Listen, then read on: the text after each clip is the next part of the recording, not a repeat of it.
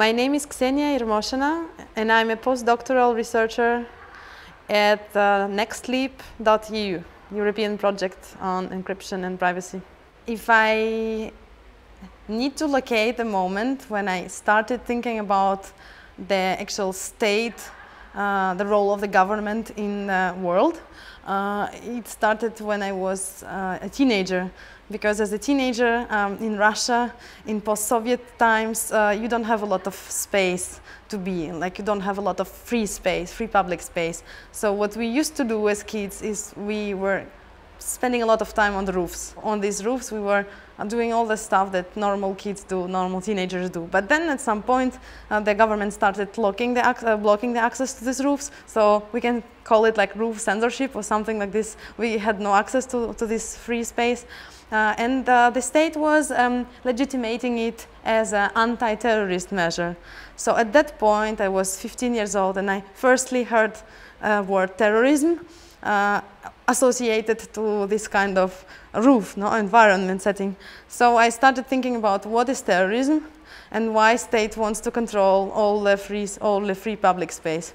And from that point, uh, I started developing some ways to uh, get uh, into these spaces, to hug them somehow, and also to think about how we can uh, actually protect ourselves from the state. So starting perceiving state as an active agent in like observing people.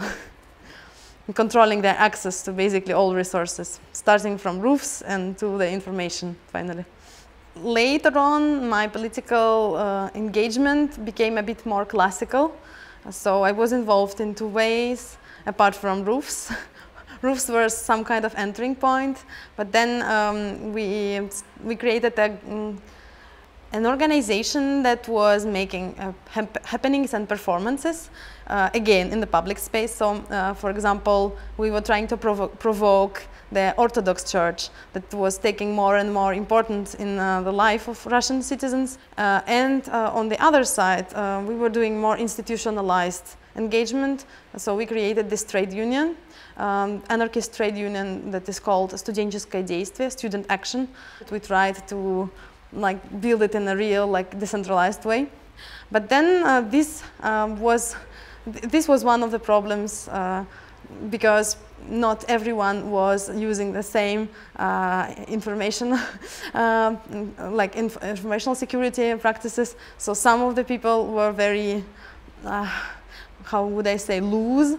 Uh, they were not taking enough precautions. So we had some leaks we had some um, people uh, who went as undercover agents uh, on our meetings, and I would receive uh, mails with attached files that were uh, uh, audio files uh, with my own words during the meeting that was off the record, and I was thinking that no one would record it, but actually the undercover agents were recording everything and then uh, sending it to me asking, do you want us to publish it or do you want to stop your activities.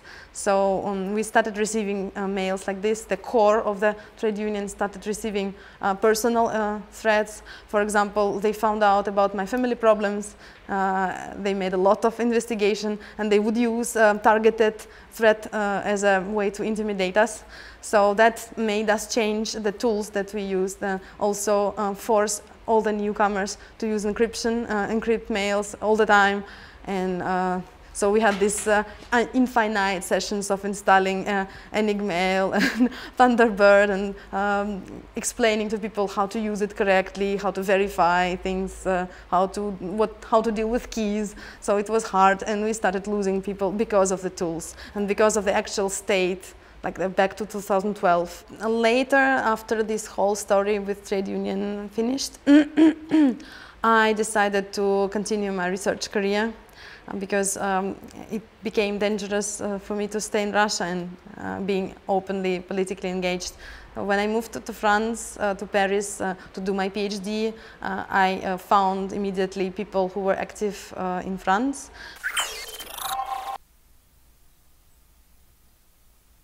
Later, I found that the most natural way to help people would be uh, to organize um, um, new form of security trainings that um, I also call crypto parties, um, borrowing this name from the international crypto party movement, but I take it um, literally. Uh, party means party, party means music, because people don't only uh, want to learn how to use tools, but also want to try to communicate using these tools, maybe immediately after they get uh, uh in, introduced to this. So how would we create a proper setting that would mix the very serious things with something fun? And uh, we coined with my friends this concept of uh, TransCyberian. Um, TransCyberian uh, party is a mix of classical crypto party and install party with uh, uh, live music. So I bring these young people with no political background, no hacking background, try to seduce them with music and maybe convince two or three persons at the end to go start using GPG, for example. so if I want to explain why the adoption rate is so low, then um, there are several hypotheses. So first of all, um, some of the people who come to trainings are curious. They are curious without having real uh, political uh, urgent necessity to protect themselves. They are concerned with privacy, as all privileged uh, white European citizens have uh, concerns with privacy more than with security. Uh, it means that uh, they don't want to be um, targeted um, by some advertisement companies, but they don't feel that it's really like threatening their life. So they like this event that would um, be like a bifurcation point that would tell them, hey, since now, from this very moment, you start encrypting your communication. Um, those who had these events, those who were uh, who faced uh, real uh, threat and uh, aggression, uh, turn uh, to encryption much easier and, and adopt it quicker.